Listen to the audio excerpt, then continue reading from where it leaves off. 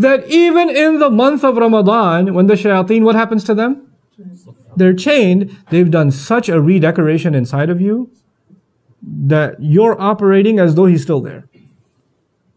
He's, autopilot. Shaitan's not there, but you're doing his work anyway. Because they're shayateen al-insi wal jinn. You ever wonder why Allah says they're shayateen, they're devils of the human beings and the jinn? There are devil, devils that are jinn, obviously. But how can devils be human? You know the human beings who let shaitan inside and let him stay for a long time? They become them. They convert. They just become shayateen. Subhanallah.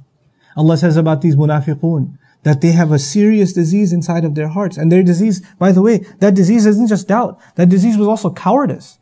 They were cowards. They weren't willing to stand up for this religion. And I told you, their hypocrites cannot be compared to our time, but we have a similar problem. Not the same problem, but certainly a similar problem. There are going to be three reactions to Islam even today. There are going to be people who say La ilaha illallah, Muhammadur Rasulullah, sallallahu alayhi wasallam, and they will take pride in it, and they will see it their honor that they're Muslim. And no matter what, Nothing is above Allah's word. Nothing is above the words of the Prophet ﷺ. The obedience to them is supreme. That guidance is beyond criticism. And they believe that in their heart of hearts. Even when they make mistakes, they know the mistakes are theirs. They can be flawed. They can be mistaken. The deen of Allah is not mistaken. The deen of Allah has no problems. The deen of Allah has no criticism. On the other extreme, you will get people who absolutely hate Islam and the Muslims.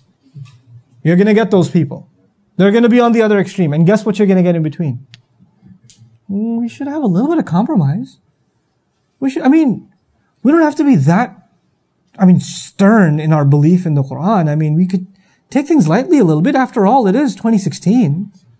We have to just, you know, go, go with the times a little bit. That reaction of let's just kind of work both out a little bit. Because, you know, if you really truly believe, you might become too extreme. So we have to balance both sides that's actually a byproduct of that original hypocrisy that used to exist back then. Our deen, by definition, is already balanced. Thank you very much. You don't have to come in and offer it your version of balance. It's already got the best of this world and the next balanced for us by Allah Himself. So when you come along and I come along and say, you know what, let's balance, let's have a balanced approach to Islam.